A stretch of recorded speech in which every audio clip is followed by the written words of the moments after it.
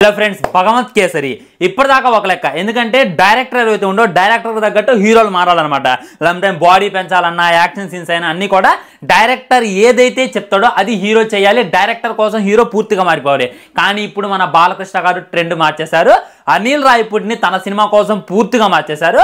Cinema start అయిన దగ్గర నుండి ఎండ్ అయిన దాకా నాకైతే ఎక్కడ కూడా ఇది అనిల్ రాయపుడి మూవీ లాగా అనిపించలేదు భయ ఎందుకంటే ఆయన సినిమాలో చూసేటటువంటి కామెడీ సీన్స్ అయినా ఆయన సినిమాలో చూసేటటువంటి ఓవర్ యాక్టింగ్ ఆయన సినిమాలో చూసేటటువంటి ఇల్లాజికల్ పీతి కామెడీ అయితే ఈ సినిమాలో నాకు కనపడలేదు. అందుకైతే నేను చాలా హ్యాపీగా ఉన్నాను.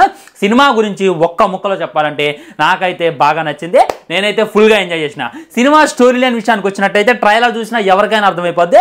శ్రీలీల వాళ్ళ నాన్న చనిపోతూ చనిపోతూ భగవంత్ కేసరి చేతిలో శ్రీలీలని పెట్టి ఎలాగైనా సరే నా కూతుర్ని ఆర్మించాయి ఎందుకంటే ఇది నా భార్య కోరిక అని చెప్పి తను చనిపోతారు అనమాట అసలు తను ఎందుకు చనిపోయాడు? ఆ తర్వాత భగవంత్ కేసరికి శ్రీలీల వల్ల ఎదురైనటువంటి ప్రాబ్లమ్స్ ఏంటి? అది కాక ఇంకొకటి ఉన్నాడు భయ్యో రాహుల్ అనేటటువంటి విలన్ వాడు చూసుకున్నట్లయితే శ్రీలీలని చంపుదామని చూస్తూ ఉంటాడు అనమాట ఈ లోపులోనే మన హీరోకి తనకి ఒక ఫ్లాష్ బ్యాక్ ఉంటుంది. వీళ్ళిద్దరు కూడా బద్ధ శత్రువుడు అసలు శ్రీలీల జోలికి వచ్చినటువంటి వీడికి మన బాలకృష్ణ గారితో ఉన్నటువంటి శత్రుత్వం ఏంటి? ఆ తర్వాత జరిగింది ఏంటి? వీళ్ళిద్దరు కొట్టుకున్నారా లేదా? మరి శ్రీలీలకి ఒక వ్యాధి ఉంటుంది అనమాట ఆ వ్యాధి పోయిందా లేదా? తన ఆర్మీ అయిందా లేదా? తన బిడ్డను తను కాపాడుకున్నాడా లేదా?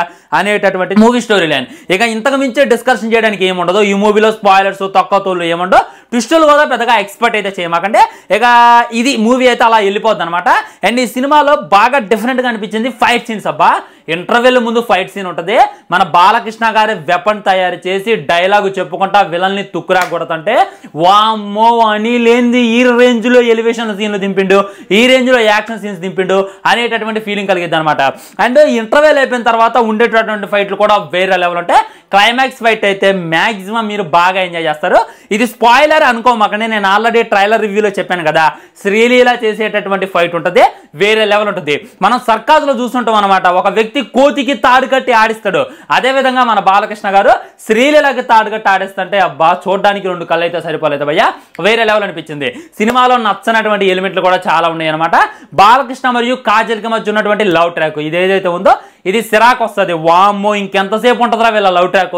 తొందరగా అయిపోతే బాగురా అనేటటువంటి ఫీలింగ్ కలిగింది ఇది కానీ ఇంకోసేపు పెట్టినట్టయితే సినిమా బూడిదలో పోసిన పన్నీర్ అయిపోయేది అనమాట ఇంకా నచ్చినటువంటిది సాంగ్స్ ఉయ్యాలో ఉయ్యాలో సాంగ్ మినహాయింపి అసలు ఈ సినిమాలో సాంగ్స్ ఉన్నాయా అనేటటువంటిది కలిగింది. మనం యూట్యూబ్లో విన్నప్పుడు ఆ గణపతి సాంగ్ ఏదైతే ఉందో అది వేరే లెవెల్ అనిపించింది.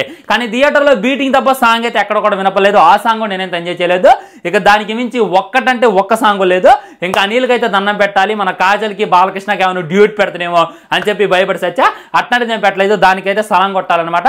And background music. అఖండాలో విన్నటువంటి బ్యాక్గ్రౌండ్ మ్యూజిక్ అంతా కూడా ఇందులో దింపేటటువంటి ప్రయత్నం చేసిండు. అది తప్ప కొత్త బ్యాక్గ్రౌండ్ మ్యూజిక్ ఎక్కడ కూడా మనకు వినపడదే కనపడదే అనేటటువంటి ఫీలింగ్ కలిగింది. యాక్టర్స్ యాక్టింగ్ గురించి వన్ మ్యాన్ షో బాలకృష్ణలాగా చెప్పుకోవచ్చు అనమాట ఎమోషన్ సీన్స్ అయి ఉండొచ్చు యాక్షన్ సీన్స్ అయి ఉండొచ్చు ఎలివేషన్ సీన్స్ అయి ఉండొచ్చు. చాలా బాగా పడ్డాయి. అంటే కొన్ని కొన్ని సార్లు మన రజనీకాంత్ జైలర్ సినిమాని మ్యాచ్ చేస్తారేమో అనేటటువంటి ఫీలింగ్ కలిగింది. కాకపోతే అక్కడ ఉంది మన అనిరుద్ధ్ ఇక్కడ ఉంది మన తమన్ కాబట్టి మ్యాచ్ చేయలేకపోయింది. మాక్సిమం ఆ బ్యాక్గ్రౌండ్ మ్యూజిక్ కానీ పెట్టి విన్నట్టయితే జైలర్ సినిమా మనకి ఎంత బాగా ఎంజాయ్ చేస్తామో ఈ సినిమా కూడా అంత బాగా ఎంజాయ్ చేస్తాం. లైక్ హీరోకి ఒక ఫ్లాష్ బ్యాక్ పెట్టారు. ఫ్లాష్ బ్యాక్లో లో చాలా అంటే చాలా పెద్ద క్రూరుడు. అసలు ఆ క్రూరుడు ఏంటి? తనకు ఉన్నటువంటి ఫ్లాష్ బ్యాక్ ఏంటి? అనేటటువంటిది నాకు అక్కడక్కడ జైలర్ లాగా గుర్తొచ్చింది అనమాట ఫర్ ఎగ్జాంపుల్ జైలర్ సినిమాలో ఫ్లాష్ బ్యాక్లో రజనీకాంత్ గారు పోలీసే కదా? మన భగవంత్ కేసుల్లో మన బాలకృష్ణ గారు కూడా పోలీస్ అనమాట ఈ విధంగా అక్కడక్కడ నాకు జైలర్ అయితే గుర్తొచ్చింది. సో జైలర్ సినిమా అంతా కూడా తన ఫ్యామిలీని తను కాపాడుకోవడానికి భగవంత్ కేసు అంతా కూడా తన పాపని కాపాడుకో కాపాడుకోవడానికి ప్రయత్నం చుట్టూ కూడా ఈ సినిమా జరిగింది అనమాట and comedy scenes Anil Ravipudi మీరు ఎక్స్పెక్ట్ చేసి కామెడీ కానీ వెళ్తే మీరు డిసప్పాయింట్ అవుతారు. కామెడీ మాత్రం ఎక్స్పెక్ట్ చేయమాకండి. ఫ్యాన్స్ అయితే ఎవ్వడు కూడా సీట్లో కూర్చోలేదు భయ్య. నేను వెళ్ళినటువంటి థియేటర్లో ఓరి నాయను మామూలు సెలబ్రేషన్స్ కాదు. ఇదే రోజు లియో ఉంది. అందరూ లియోకి వెళ్తాడు పాపం థియేటర్ అంతా ఖాళీగా ఉంటుందేమో అనుకున్నా. అట్ట లేనే లేదు. హౌస్ఫుల్ అయింది. బ్లాక్లో ఒక్కొక్కడు వెయ్యి రెండు వేలు పెట్టి మరి టికెట్లు కొంటున్నాడు థియేటర్ బయట అయితే రచ్చ రచ్చ చేశారు. ఇంకొంతమంది థియేటర్స్ అయితే తగలబెట్టారు. ఫ్యాన్స్ అయితే థియేటర్ తగలబడిపోద్ది. నార్మల్ ఆడియన్స్ మామూలుగా ఎంజాయ్ చేయడానికి బాగానే ఉంటుంది. పర్లేదు friends cinema. Dasara winner is Balakrishna అనేటటువంటిది అయితే క్లారిటీగా అర్థమవుతుంది. డెఫినెట్లీ వెళ్ళేటటువంటి ప్రయత్నం చేయండి. చూసేటటువంటి ప్రయత్నం చేయండి. మీరు పెట్టినటువంటి హండ్రెడ్ రూపీస్కే ఖచ్చితంగా వస్తుంది ఫ్రెండ్స్. ఇదైతే నా గ్యారంటీ అనమాట అది ఓవరాల్గా రివ్యూ విషయానికి వచ్చినట్టయితే రివ్యూ ఏ విధంగా అనిపించినట్టు డెఫినెట్లీ కింద కామెంట్ చేయండి. వీడియో లైక్ చేసి షేర్ చేసి ఛానల్ సబ్స్క్రైబ్ చేయండి. ఇవన్నీ మాత్రం జై హింద్. Bye bye